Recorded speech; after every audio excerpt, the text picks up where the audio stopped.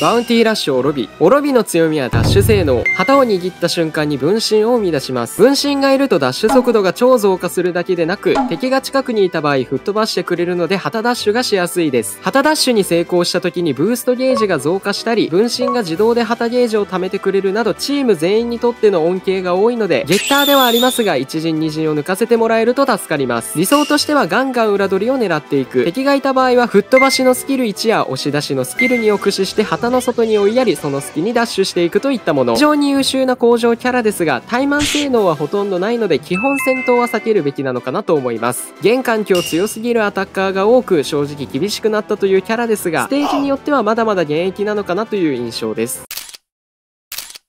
なるほど。パンツに化粧したらおパンツになるの